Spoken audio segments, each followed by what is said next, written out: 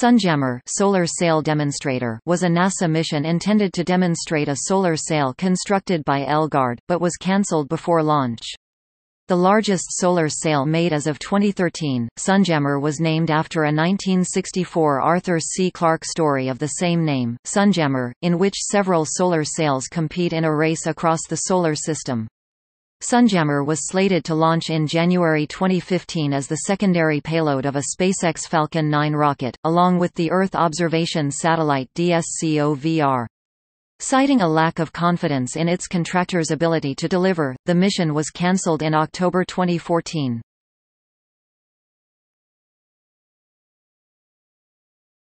Topic: Spacecraft design. Constructed of Kapton in order to withstand the extreme temperatures of space, Sunjammer has a width and height of 38 meters (124 feet), giving it a total surface area of over 1,200 square meters (13,000 square feet) and making it the largest solar sail as of 2013. Despite its huge surface area, Sunjammer has a thickness of only 5 micrometers, giving it an extremely low weight of about 32 kilograms 70 pounds and allowing it to be stored in a space the size of a dishwasher. Once in space, the large surface area of the solar sail would allow it to achieve a thrust of about 0.01 n, roughly the weight of a sugar packet.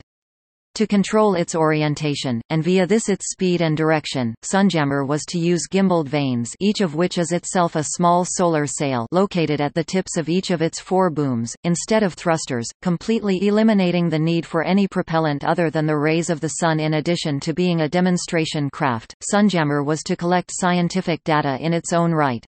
With several instruments to detect various aspects of space weather, Sunjammer could have eventually become part of a larger network of solar sails studying the Sun, allowing for the creation of a more robust early warning system for space weather.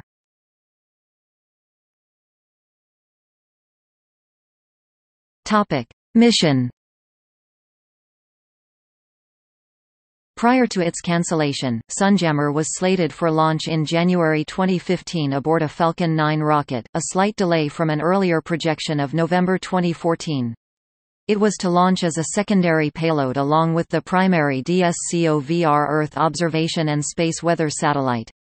Within two months of launch the spacecraft was to test various technologies, such as deployment, vector control via altitude vanes, and eventually reaching a location near the Earth-Sun L1 Lagrangian point.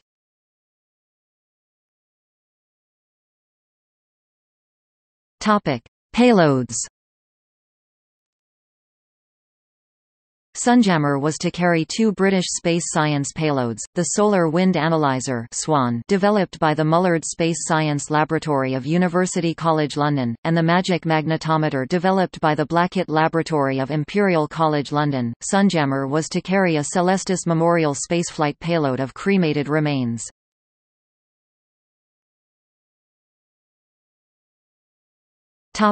See also